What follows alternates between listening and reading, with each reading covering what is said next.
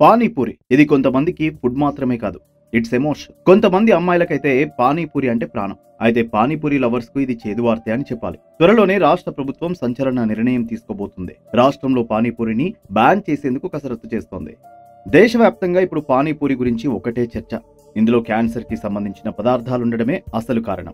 ఈ నేపథ్యంలో పానీపూరిపై నిషేధం విధిస్తారా? ఇందులో ఏ ఏ రాష్ట్రాలున్నాయి అనేది తెలుసుకునే ముందు వీడియోను లైక్ చేసి మా ఛానల్ని సబ్స్క్రైబ్ చేసుకోండి. మీరు పానీపూరిని ఎక్కువగా ఇష్టపడతారా? ఒకటి అవును రెండు కాదు. మీ ఆన్సర్ని కామెంట్ బాక్స్లో కమెంట్ చేయండి.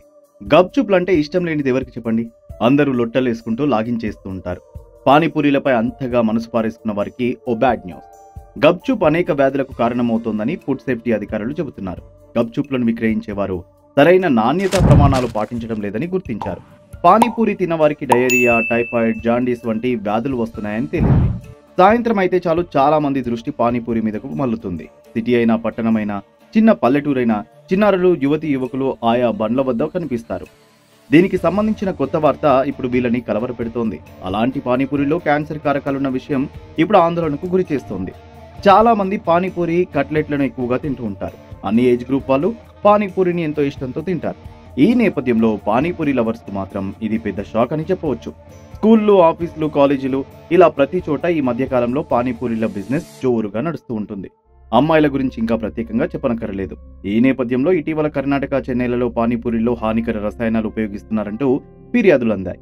దీనిలో భాగంగానే అధికారులు రంగంలోకి దిగి శాంపిల్స్ తీసుకున్నారు. వీటిని ల్యాబ్లకు పంపించి విచారణ చేపట్టగా విస్తుపోయే విషయాలు వెలుగులోకి వచ్చాయి. పానీపూరిలో రంగుల కోసం brilliant blue tartrazine sunset yellow లాంటి హానికరమైన రంగులను ఉపయోగిస్తున్నారు. దీనివల్ల స్టమక్ క్యాన్సర్ అనేక ఇతర సమస్యలు వస్తాయని పరిశోధనలో తేలింది. దీంతో ఆయా రాష్ట్రాల ఆరోగ్య శాఖ అధికారులు అలర్ట్ అయ్యారు. పానీపూరిల శాంపిల్స్ పై మరింత లోతుగా అధ్యయనం చేయడానికి ప్రత్యేకంగా కమిటీని నియమించినట్టు తెలుస్తుంది.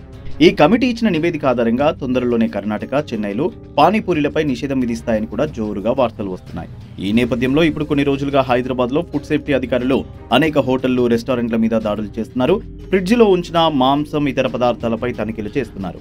ఇక తాజాగా పానీపూరిలపై కూడా హైదరాబాద్ ఫుడ్ సేఫ్టీ అధికారులకు ఫిర్యాదులు వెల్లువెత్తుతున్నాయని తెలుస్తోంది. హైదరాబాద్ ఫుడ్ సేఫ్టీ అధికారులు సైతం అలర్ట్ అయినట్టు తెలుస్తోంది. ఇప్పటికే హైదరాబాద్ ఫుడ్ సేఫ్టీ అధికారులకు కూడా పానీపూరి ఘటనపై వరుసగా ఫిర్యాదులు అందాయట అసలే వర్షాకాలం చాలా చోట్ల కలుషిత నీటి వల్ల ఇబ్బందులు పడుతూ ఉంటారు. ఈ నేపథ్యంలో పానీపూరికి ఉపయోగించే నీళ్ళను చాలా వరకు తాగడానికి అంతగా మంచిది కాని వాటర్ని ఉపయోగిస్తున్నారని చాలా మంది ఫిర్యాదులు చేస్తున్నారు. అంతేకాకుండా పానీపూరి పరిసరాల్లో మినిమం శుభ్రత కూడా ఉండట్లేదని ప్రజలు వాపోతున్నారు. ఇప్పటికే పానీపూరిని నిషేధించాలని కర్ణాటక ప్రభుత్వం సైతం భావిస్తుంది. కర్ణాటకలో పానీపూరి తనిఖీల్లో సంచలన విషయాలు వెలుగులోకి వచ్చాయి. పానీ కలర్ రావడానికి రసాయనాలు వాడుతున్నట్టు కన్నడ రాష్ట్ర ఆరోగ్య శాఖ అధికారులు గుర్తించారు. దాదాపు రాష్ట్రంలోని రెండు వందల డెబ్బై ఆరు షాపుల నుంచి శాంపిల్స్ సేకరించి పరీక్షించారు. ఇందులో నలభై ఒక్క శాంపిల్స్లో కృత్రిమ వర్ణ ద్రవ్యాలు క్యాన్సర్కు కారణమయ్యే రసాయనాలు ఉన్నట్లు ఆరోగ్య శాఖ అధికారులు గుర్తించారు. ఆ సమాచారంతో చెన్నై వ్యాప్తంగా పానీపూరి షాపుల్లో ఫుడ్ సేఫ్టీ అధికారులు తనిఖీ చేశారు. తమిళనాడులోనూ ఇదే రకమైన కారకాలు ఉన్నట్లుగా అధికారులు అనుమానిస్తున్నారు. పానీపూరి శాంపిల్స్ను ల్యాబ్కు పంపిన అధికారులు రిపోర్ట్ ఆధారంగా పానీపూరిని బ్యాన్ చేసే అవకాశం ఉంది. అత్యంత ప్రమాణాలతో తయారు చేసే షాపుల్లో మాత్రమే పానీపూరి తినాలని ప్రభుత్వాలు ప్రజలకు సూచిస్తున్నాయి.